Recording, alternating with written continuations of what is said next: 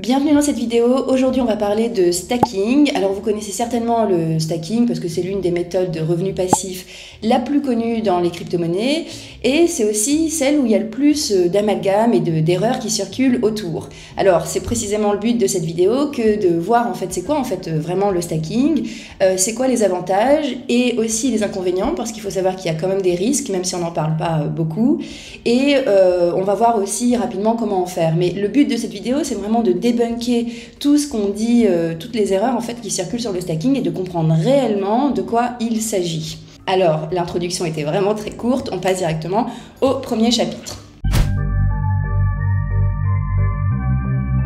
Quand on parle de stacking, en fait, on fait directement référence au proof of stake, qui est un mécanisme de consensus utilisé par certaines blockchains. N'ayez pas peur du mot mécanisme de consensus. Faut savoir qu'en fait, c'est le mécanisme, en gros, qui va être choisi par les blockchains pour sécuriser et valider les transactions, et donc créer des nouveaux blocs, des nouveaux blocs sur la blockchain. Alors, je vulgarise, on pourrait rentrer dans les détails, mais euh, c'est l'idée qu'il faut comprendre des mécanismes de consensus. Il faut aussi savoir qu'il y en a plusieurs des mécanismes de consensus, et les deux qui sont les plus connus, qu'on connaît le plus, c'est le fameux proof of work, donc preuve de travail en français, qui est utilisé par le réseau euh, par Bitcoin et qui a été donc le premier mécanisme de consensus utilisé.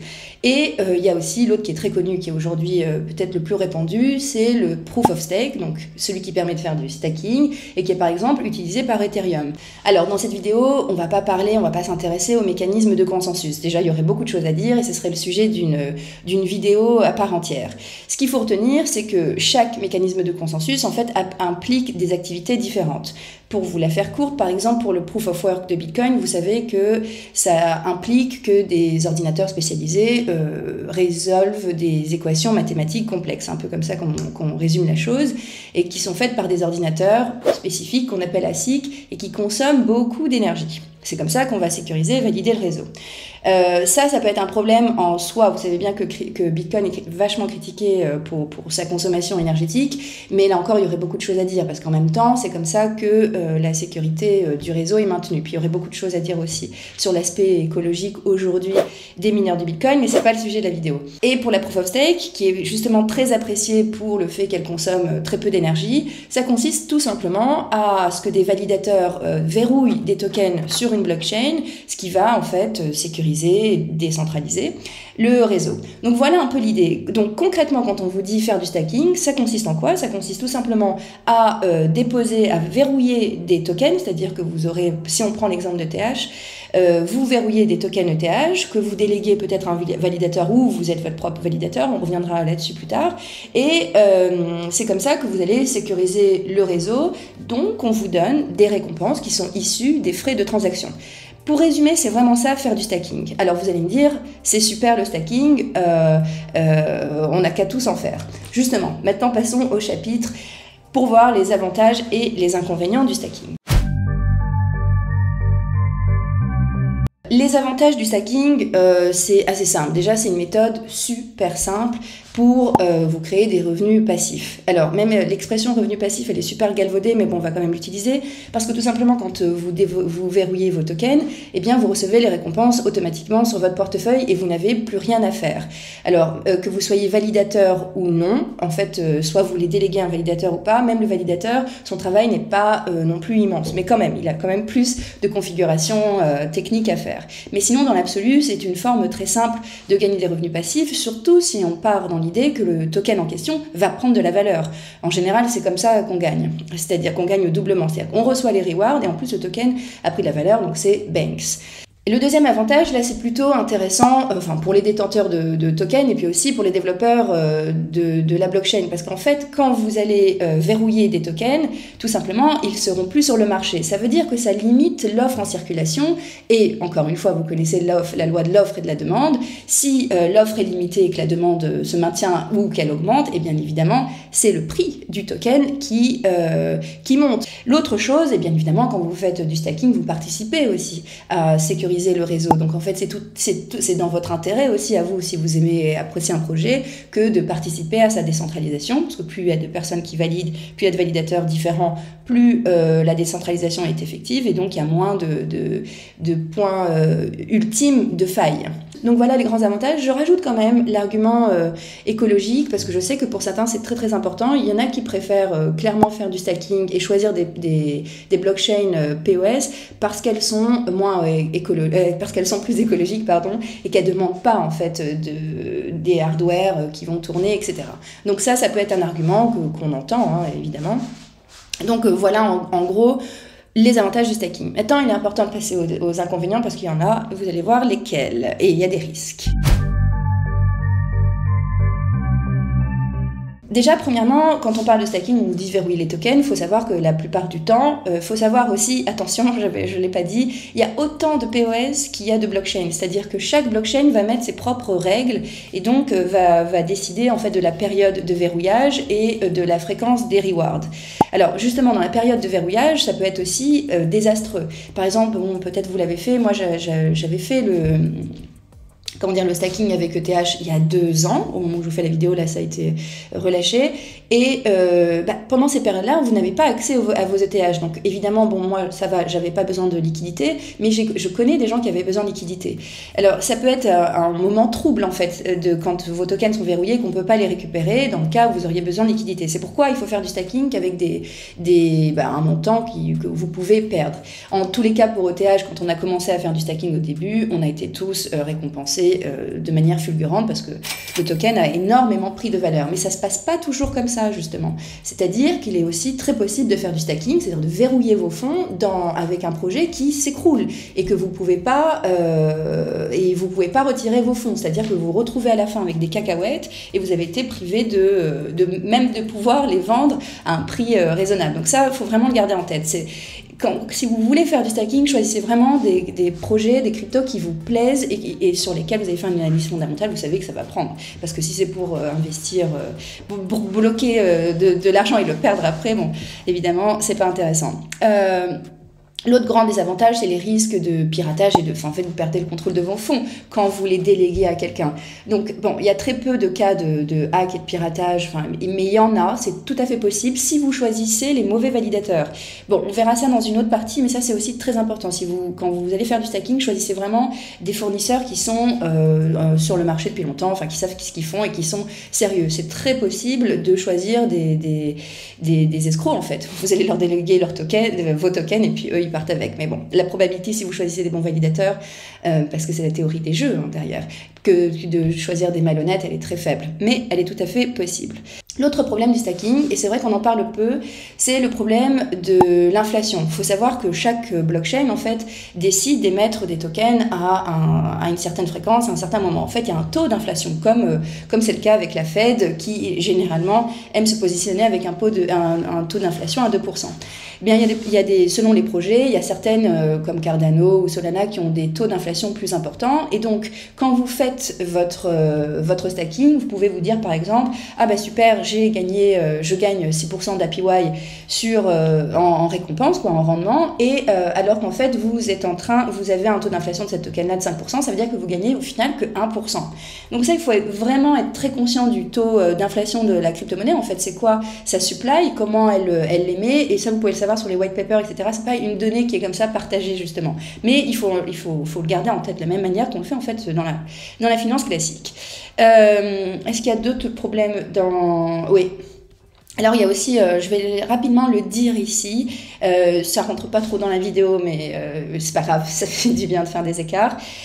Quand tout à l'heure je vous disais l'avantage c'était le, le, le, fait que c'est écologique en gros euh, les POS et vous vous, vous êtes peut-être dit oui mais justement pourquoi on passe pas pourquoi le Bitcoin passerait pas au POS alors simplement pour vous dire que évidemment ça devrait prendre une vidéo puis j'ai des articles par contre si ça vous intéresse. Mais il y a aussi des défauts euh, c'est-à-dire que c'est très souvent euh, il y, a y, a aussi des défauts au POS, c'est-à-dire que certes, c'est euh, plus écologique, mais euh, la sécurité est, est moindre en fait, euh, et c'est aussi moins décentralisé. Il y a surtout, surtout aussi un problème de plutocratie. Alors, très rapidement, ça veut dire que très souvent, vous le voyez bien, là, ce qu'on vous demande, c'est de verrouiller des tokens, et puis plus vous les verrouillez, plus, vous, avez, vous plus la somme est importante que vous avez verrouillée, plus vous recevez des récompenses. Ben, il y a un côté un peu plutocratique dans le sens où c'est donc les personnes qui possèdent le plus de capital qui vont gagner le plus, et ça va euh, continuer comme ça, comme dans un cercle vicieux en fait, où simplement les plus riches euh, gagnent le plus d'argent, etc.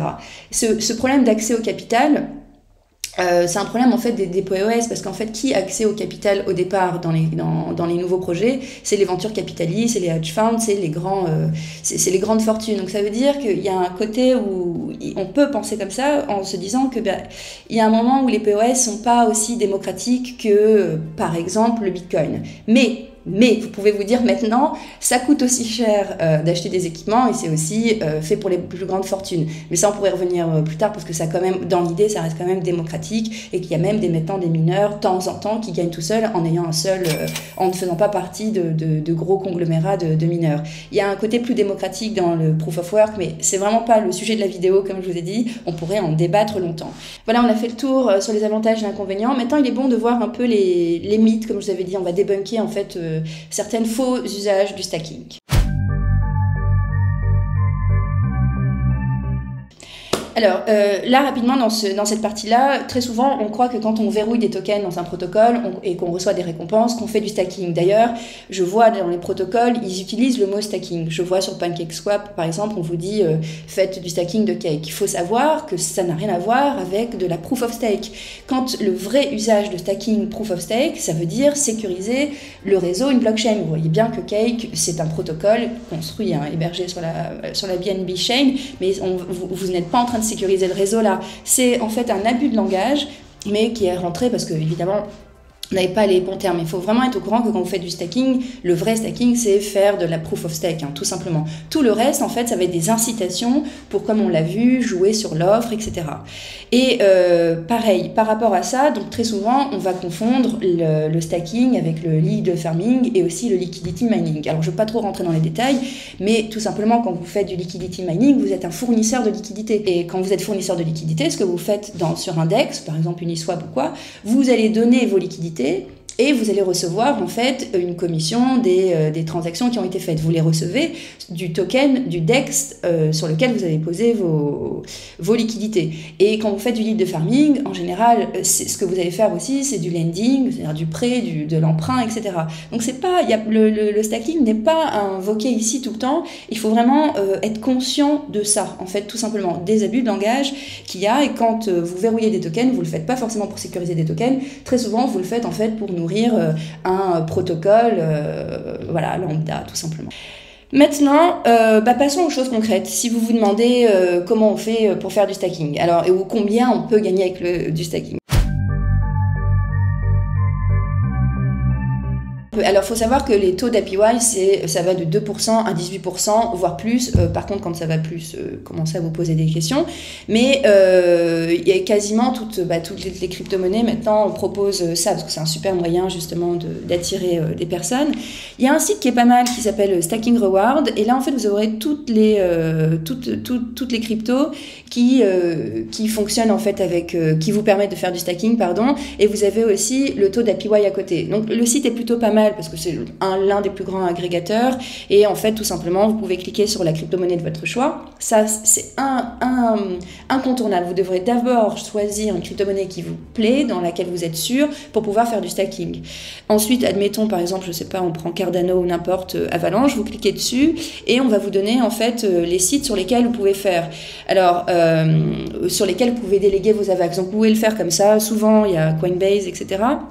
Et puis très souvent, la plupart des plateformes d'échange que vous utilisez centralisées, mais là, hein, vous savez les risques, hein, vous n'oubliez jamais qu'FTX est tombé, puis qu'avant lui, il y en avait plein qui étaient tombés aussi. Mais sinon, la voie royale, celle qu'on recommande, c'est quand même de faire du stacking avec euh, sur un cold wallet ou euh, sur un wallet non custodial surtout, c'est-à-dire que vous avez vraiment vos clés, et vous contrôlez en fait vos fonds. Le, enfin la plateforme ne peut pas partir avec vos fonds.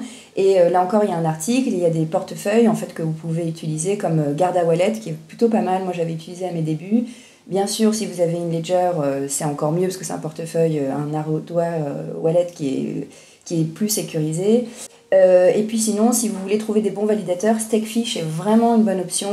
Donc vous pouvez le faire aussi sur les plateformes centralisées. Moi, je sais que par euh, souci, euh, par, par, parce que c'est plus simple, je le fais sur, sur Binance parce que j'ai des, des tokens dessus. Donc je vais simplement sur Earn et puis je choisis de faire du stacking comme ça. Il y a d'autres sites sur lesquels vous pouvez faire. Et puis vous pouvez aussi vous le, faire vous-même. C'est pas compliqué d'être validateur. Ça dépend des, des, des blockchains bien sûr, mais en fait très souvent le problème d'être validateur, c'est que ça demande déjà une petite configuration technique, mais pas, pas folle. Vous pouvez le faire sur un Raspberry, par exemple.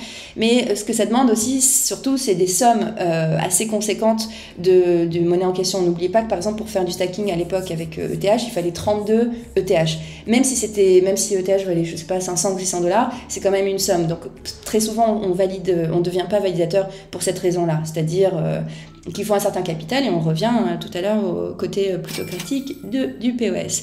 Donc voilà, pour faire du stacking, euh, rien de plus simple. La plupart des applications le font. Donc là, je sais pas, moi j'utilise par exemple aussi un site MyContainer que j'utilise depuis très longtemps. J'ai fait des vidéos, mes premières vidéos j'en parlais, et bon, bah, ils ont super bien évolué, et je, sais que je gagne aussi, comme ça je touche pas mon, portefeuille, puis j'en fais un peu partout.